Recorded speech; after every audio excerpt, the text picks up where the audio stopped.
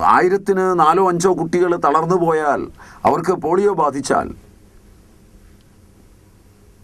കോടിക്കണക്കിന് രൂപ രാഷ്ട്രം കൊടുത്ത് പുറത്തുനിന്ന് പോളിയോയ്ക്കുള്ള വാക്സിൻ ഇറക്കുമതി ചെയ്ത് ഈ നാലോ അഞ്ചോ കുട്ടികൾക്ക് പകരം മുഴുവൻ കുട്ടികളെയും പോളിയോ വാക്സിൻ കൊടുക്കണമെന്നുള്ള നിർബന്ധം. അതിന്റെ ഓരോ ഡോസും കൊടുത്തു കഴിയുമ്പോൾ അവനിൽ ആ കൊടുത്തിരിക്കുന്ന പോളിയോയുടെ പൂർത്തീകരിച്ചെടുത്ത സിറത്തിൽ നിന്ന് അവന്റെ മലമൂത്രങ്ങളായി പോകുന്നത് എപ്പോഴെങ്കിലും ഭക്ഷണത്തിൽപ്പെട്ട് മുതിർന്നവൻ കഴിച്ചാൽ പോലും ചിലപ്പോഴുണ്ടാകാവുന്ന പോളിയോയുടെ ലക്ഷണങ്ങളുള്ള ഗല്ലൻ ബാരി സിൻഡ്രോം.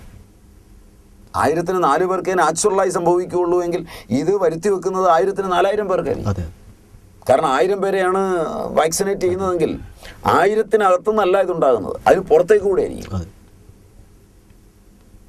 അപ്പം ശാസ്ത്രകാരന്റെ ഉൾക്കണ്ണ് ജ്ഞാനത്തിന്റെ വഴിയിൽ ദൃക്കിനെ ആസ്പദമാക്കി വളർന്നിട്ടില്ലെങ്കിൽ ദൃശ്യത്തെ ആസ്പദമാക്കി ആ വ്യവസായത്തിലും ആ ബിസിനസ്സിലും അതിൽ നിന്ന് കിട്ടാവുന്ന കമ്മീഷനിലും. ഒരു ബഹിരാഷ്ട്ര കമ്പനിക്കോ ഒരു വിദേശ രാജ്യത്തിനോ ഇതിന്റെ കോൺട്രാക്റ്റ് കൊടുക്കുന്ന സമയത്ത് അവൻ മേടിച്ചുകൊണ്ട് പോകുന്നതിന്റെ ഒരു നക്കാപ്പിച്ചയ്ക്കാണ് നമ്മൾ ഈ നിന്ന് കൊടുക്കുന്നത്. ഒരു ജനതയാകെ. ഒരു ജനതയാകെ. അപ്പോൾ ഒരു പ്രാവശ്യം അവൻ ചിന്തിക്കുകയാണ് ഇത് അവന്റെ കുട്ടികളും കുട്ടികളുടെ കുട്ടികളും വളരേണ്ട മണ്ണാണ്. ഇവിടെ വളരുന്ന സസ്യങ്ങൾ ഇന്ന് പൊല്യൂട്ടഡ് ആയിക്കഴിഞ്ഞാൽ നാളെ അവൻ ഇത് വിറ്റിട്ട് അന്യരാജ്യത്തേക്ക് പോകുന്നില്ല. അന്യരാജ്യത്തിരിക്കുന്നവന് വേണ്ടി അവൻ ഇത് മാറ്റിമറിക്കുമ്പോൾ ഇവന്റെ കുട്ടികൾ ഈ നിലയിലേക്ക് വരികയാണ്. താൽക്കാലികമായി കിട്ടിയ കാശ് രണ്ടാഴ്ച വെള്ളമടിച്ച് കളയാനുള്ളതേ ഉള്ളൂ. ഇനി അത് കൊണ്ടുപോയി ഈ രാജ്യത്ത് ഇത് കൊണ്ടു നടക്കാൻ പറ്റാത്തതുകൊണ്ട് ഒരു വിദേശ രാജ്യത്തിന്റെ അക്കൗണ്ടിൽ സ്വിസ്സിലോ ഇട്ട് കഴിഞ്ഞാൽ ഇവൻ മരിച്ചു കഴിയുമ്പോഴത്തേക്ക് അത് ആ രാജ്യത്തിന്റെ പണമായി തീരുകയുള്ളൂ. ഇന്ത്യയിൽ സമ്പാദിച്ച ഭരണാധികാരികളൊക്കെ അവിടെ പണം ഉണ്ടാക്കുക ചെയ്തത്. ഈ രാജ്യത്തിന് അവന്റെ മക്കൾക്കോ മക്കളുടെ മക്കൾക്കോ അത് പ്രയോജനപ്പെട്ടില്ല. കാരണം പലർക്കും അതിന്റെ അക്കൗണ്ട് നമ്പർ തന്നെ അറിയില്ല. ജീവിച്ചിരിക്കുമ്പോൾ അക്കൗണ്ട് നമ്പർ കൊടുത്താൽ മക്കളത് ദുരുപയോഗം ചെയ്യും. മരിച്ചു കഴിഞ്ഞാൽ അത് രഹസ്യമായിരുന്നതുകൊണ്ട് മക്കൾ അറിയുകയില്ല. ഇങ്ങനെ വിചിത്രമായ ദൃശ്യങ്ങൾക്ക് അമിത പ്രാധാന്യം കൊടുത്ത് സ്വന്തം ദാർശനിക നീതികൾ കളഞ്ഞ് സ്വയം അധപ്പതിച്ച ഒരു പാരമ്പര്യത്തിന്റെ സന്തതികൾ. അവരുണ്ടാക്കുന്ന ഹിംസയുടെയും സ്തേയത്തിന്റെയും അന്യഥാകാമത്തിന്റെയും ലോകങ്ങൾ. അതിന്റെ പുരോഗതിയെപ്പറ്റിയുള്ള വ്യാഖ്യാന കോലാഹലങ്ങൾ. ഒരു നിമിഷം കണ്ണടച്ച് ഈ പുറം ലോകമൊന്ന് വിട്ട് ഞാനും എന്റെ ജീവിതവും എന്റെ ജന്മോദ്ദേശ്യവും എന്റെ ശാന്തിയും അതിൽ അങ്കിതമായിരിക്കുന്ന ഞാൻ ജീവിക്കുന്ന ലോകത്തിന്റെ ശാന്തിയും ഒന്ന് ചിന്തിച്ചാൽ വിദ്യാഭ്യാസമൊന്നും വേണ്ടി വരില്ല തിരുത്തപ്പെടാൻ. ഒരു പ്രാവശ്യം തിരുത്തലിന് വിധേയമാകാൻ മനസ്സ് തിരുത്തലിന് വിധേയമായാൽ മതി. വല്ലാത്ത മാറ്റമായിരിക്കും സ്വാമിജി? ട്രമണ്ടസ് ചേഞ്ച് ആയിരിക്കും ഉണ്ടാവും ഒരു അഞ്ചു കൊല്ലം ഭരിച്ച ഒരു ഭരണാധികാരിയോട് ചോദിച്ചാൽ മതി നീ ഇത്രയും കാലം കൊണ്ട് എത്ര ശത്രുത പിടിച്ചു പറ്റി? എത്ര പേരെ ശത്രുവാക്കി? ഏത് രാഷ്ട്രത്തെയാണ് ഏത് വ്യക്തിയെയാണ് നിന്റെ രാജ്യത്തിലെ എത്ര പേരെയാണ് നിനക്ക് സ്വാധീനിക്കാൻ കഴിഞ്ഞത്? ആരുടെ അഭിമതമാണ് നീ സാധിച്ചത്? ആർക്കു വേണ്ടിയാണ് നീ ഇതെല്ലാം നേടിയത്? നിന്റെ ഏകാന്തതയിൽ അല്പമൊന്നിരുന്ന് ആലോചിക്കും. നീ തിന്നു തീർത്ത വസ്തുക്കൾ. നീ ചവിട്ടിമെതിച്ച് കടന്നുപോയ ആശയങ്ങൾ. നീ തകർത്തെറിഞ്ഞ പാരമ്പര്യങ്ങൾ. നീ ചവച്ചു തുപ്പിയ നല്ല ജീവിതങ്ങൾ. നിന്നെ ജനം ഓർക്കാൻ പാകത്തിന് നീ എന്ത് സ്നേഹത്തിന്റെ കാരുണ്യത്തിന്റെ നന്മയുടെ പരോപകാരത്തിന്റെ ദീർഘകാലാനുസാരിയായ ഒരു രാഷ്ട്രമെന്ന നിലയിൽ മറ്റു രാജ്യങ്ങളുടെ മുമ്പിൽ തലയുയർത്തിപ്പിടിക്കാൻ എന്ത് നീ ചെയ്തു വെച്ചു?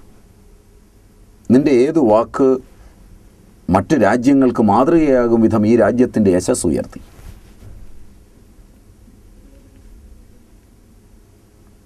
നീ ഞങ്ങളെ പ്രതിനിധീകരിക്കുമ്പോൾ നിന്റെ വാക്ക് നിന്റെ പ്രവൃത്തി നിന്റെ ചലനം ഇവയെ നോക്കിയിരുന്ന അനേകായിരം വൈദേശിക മാധ്യമങ്ങൾ ഉൾപ്പെടെയുള്ളവരുടെ മുമ്പിൽ ഈ രാജ്യത്തിന്റെ യശസ് തകരുമാറ് നീ സംസാരിച്ചോ? ഉപജാപകങ്ങളുടെയും കോഴകളുടെയും കള്ളത്തരങ്ങളുടെയും ദുരന്ത ദുശങ്കയെ വിത വിതച്ച് നീയും നിന്റെ കൂട്ടാളികളുമെല്ലാം സഞ്ചരിച്ച മാർഗങ്ങൾ അത്രയും ഈ രാജ്യത്തിന്റെ സദ് യശസ്സിനെ കളങ്കപ്പെടുത്തുന്നതായാൽ നാളെ എങ്ങനെ ഈ രാജ്യത്തിലെ കുട്ടികളെ അന്യരാജ്യങ്ങൾ വിശ്വസിക്കും? ഇവിടുത്തെ വിദ്യാഭ്യാസത്തിന് എങ്ങനെ മാന്യത കിട്ടും? കച്ചവട സംഘങ്ങൾ നയിക്കുന്ന ഒരു വിദ്യാഭ്യാസം പ്രകൃതിദത്തമായ ഒരു അറിവിൽ നിന്ന് വ്യത്യസ്തമാണെന്ന് ലോകം ധരിക്കില്ലേ? നീ ഭരിച്ച നാളുകളിൽ ഇവിടുത്തെ റോഡുകൾ ഇവിടുത്തെ തോടുകൾ ഇവിടുത്തെ പരിപാവനങ്ങളായ കൃഷിയിടങ്ങൾ ഇവയൊക്കെ സംരക്ഷിക്കപ്പെട്ടുവോ? നിന്റെ ഭരണകാലത്ത് ഇവിടെ മാലിന്യമുക്തമായിരുന്നുവോ? ജനപദധ്വംസകങ്ങളായ രോഗങ്ങൾ കൊണ്ട് ഈ രാജ്യം അങ്കിതമാകാതിരുന്നുവോ? എങ്ങനെ ഇതിന്റെ ജനാധിപത്യം കിട്ടി അന്ന് മുതലുള്ള ഓരോ ഭരണാധികാരിയെയും നിർത്തി ജനം വിചാരണ ചെയ്യാൻ തുടങ്ങിക്കഴിഞ്ഞാൽ എന്തായിരിക്കും ഉത്തരം? അവരുടെ അനുയായി വൃന്ദങ്ങൾ പടകധ്വനി അടിച്ച് പറയുന്ന നന്മകളൊക്കെ ഇവർ പ്രതിനിധീകരിച്ചിട്ടുണ്ടോ? അതെ.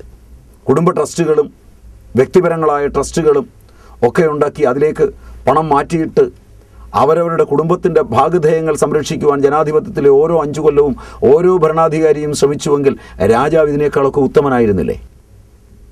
ചുരുങ്ങിയ പക്ഷം ചെന്ന് കരയുന്ന പ്രജയോടെങ്കിലും അയാൾ കരുണ കാണിച്ചിട്ടുണ്ടാവില്ലേ? പ്രജയല്ല രാജാവ് ജനമായിരിക്കുകയും ജനത്തിന്റെ പ്രതിനിധി മാത്രമായി മന്ത്രിയായിരിക്കുകയും ചെയ്യുന്നവൻ. രാജാവ് ജനം മന്ത്രി. മന്ത്രിയെ കാണാൻ രാജാവ് ഓച്ചാനിച്ച് നിൽക്കേണ്ടുന്ന? ഒരു ഭരണവ്യവസ്ഥ. ജനം കയ്യൊപ്പിട്ട് തുല്യം ചേർത്തി ഭരണാധികാരിയായി ഒരുവനെ ഏൽപ്പിച്ചു കഴിഞ്ഞാൽ ജനത്തിന്റെ കീഴിലിരിക്കുന്ന ഒരു മന്ത്രി ജനത്തിന്റെ മുകളിൽ അഹന്തയോടുകൂടി വാക്കുകൾ ഉപയോഗിക്കുന്ന ഒരു ഭരണവ്യവസ്ഥ. അത് അതിന്റെ അകത്ത് തന്നെ വരുന്ന മാലിന്യം കൊണ്ട് തകരാൻ പോകുന്ന ഒരു കാലഘട്ടത്തിൽ എത്തി നിൽക്കുകയാണ്. അപ്പോഴും ആ തകർച്ചയ്ക്ക് കാരണമായ മാലിന്യങ്ങളിൽ നിന്ന് മുക്തമാകുന്നതിന് പകരം ആ മാലിന്യങ്ങളെ ഉദാത്തീകരിക്കാൻ ഓടുകയാണ് ആളുകൾ. ആ മാലിന്യം മറച്ചു വെച്ച് അപ്പുറത്ത് സാമ്പ്രാണിത്തിരി കത്തിച്ച് ഇതിന്റെ മണം വരുന്നില്ല എന്ന് വരുത്തി തീർക്കുവാനുള്ള ത്വരയിൽ ഇത് ഒന്നാകെ നശിക്കും നാളെ.